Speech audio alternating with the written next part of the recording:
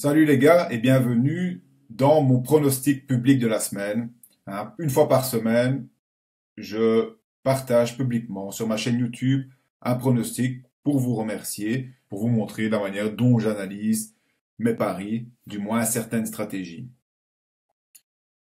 Alors cette semaine, euh, samedi, donc demain, je me déplace en Espagne, Ligue espagnole dans le match Real contre Atlético. Mon pari pour ce match est le match nul avec victoire de Real Madrid remboursée. Ça veut dire que si le Real gagne, ma, mise est remboursée, donc je ne perds pas d'argent. Si c'est match nul, je gagne de l'argent. Si l'Atlético gagne, je perds de l'argent. Au niveau des blessés pour commencer, un joueur qui est blessé au Real et des Nazar, mais également à l'Atlético Madrid. Diego Costa est blessé, donc un joueur clé de part et d'autre. Au niveau du classement, classement général, Real Madrid en tête. Et Atlético Madrid, cinquième. Alors, l'attaque du Real Madrid est plus forte que celle de l'Atlético. 39 buts marqués contre 22 pour l'Atlético. Et les défenses des deux équipes sont très bonnes. Ce sont en fait les deux meilleures défenses du championnat. 13 buts encaissés pour le Real, 14 buts encaissés pour l'Atlético. L'Atlético est connu pour son organisation défensive, la qualité de sa défense. Le Real fait aussi bien cette saison.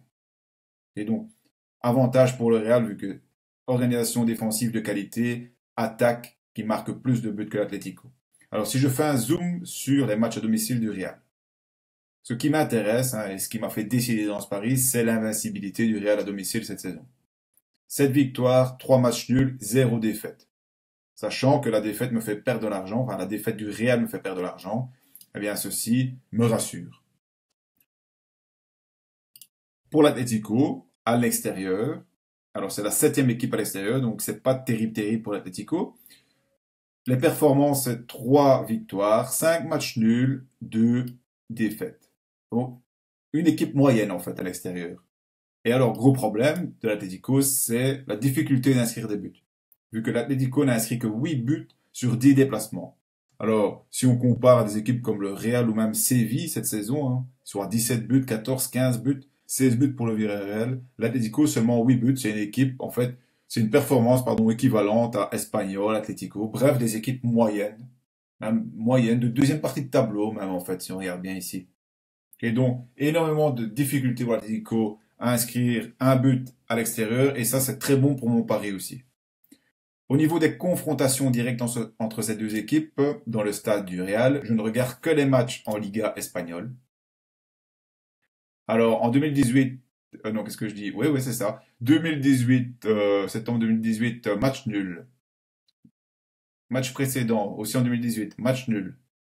2017, match nul. 2016, victoire de l'Atlético. 2014, victoire de l'Atlético aussi. En tout cas, de manière générale, on voit qu'il y a beaucoup, pas mal de matchs nuls entre ces deux équipes. Hein, il suffit de jeter un œil ici, hein, et on voit qu'il y a énormément de lignes avec match nul. Alors, euh, au niveau de la, ici c'est la forme récente, hein, au niveau de la forme récente, je vois que le Real est invaincu, même dans les autres compétitions. Atlético, c'est moins reluisant, surtout les trois derniers matchs avec trois défaites consécutives. Donc c'est pas une équipe qui est dans une super dynamique, ce qui m'arrange aussi pour mon pari. Si je regarde ensuite les résultats ligne à ligne de ces deux équipes, comme je l'ai dit, le Real, hein, c'est une victoire, euh, c'est une équipe qui gagne ou qui fait match nul à domicile. Alors ici, il faut se dire que les matchs nuls me font gagner de l'argent, les victoires me remboursent ma mise. Donc c'est très bon au niveau des perfs du Real Madrid. Pour l'Atlético qui est cinquième, eh bien à l'extérieur, voici les résultats dans la colonne de droite. La question que je dois me poser, c'est qu'est-ce qui me fait perdre de l'argent? Eh bien c'est la victoire de l'Atlético Madrid. Alors il est vrai que l'Atlético cette saison a gagné trois matchs à l'extérieur, mais si on regarde, ce sont trois matchs contre des équipes de deuxième partie de classement, deuxième moitié de classement, même équipe du fond, je dirais. Contre les équipes du top 10 ou de la première moitié, l'Atlético ne parvient pas jusqu'à présent à gagner à l'extérieur. beaucoup de matchs nuls, ce qui me fait gagner de l'argent.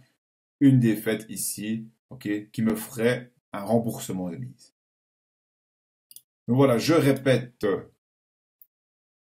Non, avant de répéter mon pronostic, je le place, pardon.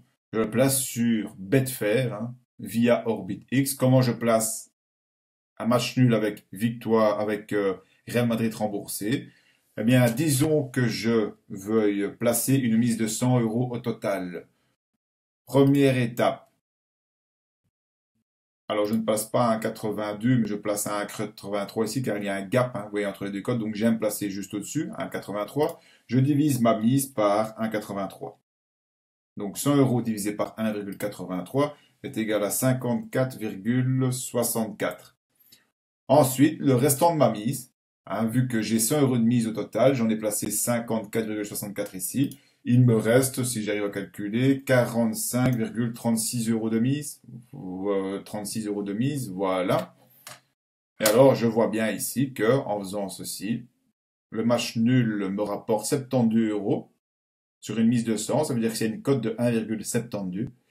Si l'Atletico gagne, je perds ma mise totale, 100 euros. Et si le Real gagne, je récupère ma mise. Je ne perds, je perds 0 euros. Et je perds 0 euros. Donc c'est un pari sécurisé. Alors, donc, je répète, ce pari, c'est match nul avec victoire du Real Madrid, victoire de l'équipe à domicile remboursée, le tout pour une cote de 1,72 ce qui est pour moi est très bon. Voilà, j'espère que vous avez aimé cette vidéo. Alors dites-moi en commentaire si vous êtes d'accord avec mon pronostic. Si vous ne l'êtes pas, ben, dites-moi d'autres pistes, dites-moi quel est votre avis, quel type de pari vous aimeriez placer ou vous allez placer sur ce match? Ok euh, Si vous avez aimé cette vidéo, eh bien, n'hésitez pas à me laisser un like euh, et à partager avec vos amis. Et alors, pour vous remercier de m'avoir écouté jusqu'au bout, en description hein, dans cette vidéo, donc en bas de cette vidéo, il y a une description avec un lien dessus. C'est un bonus gratuit. Quatre actions concrètes à mettre en place pour améliorer vos paris sportifs. Alors là, c'est pas de blabla, c'est un guide gratuit que j'ai écrit récemment dans lequel vous allez trouver quatre actions à mettre en place de manière rapide et qui vont directement améliorer vos paris sportifs. Alors c'est gratuit, donc profitez-en, il y a de la valeur. Passez à l'action, améliorez vos paris. Voilà, merci d'avoir regardé cette vidéo. C'était Philippe Bello, parieur pro. À bientôt.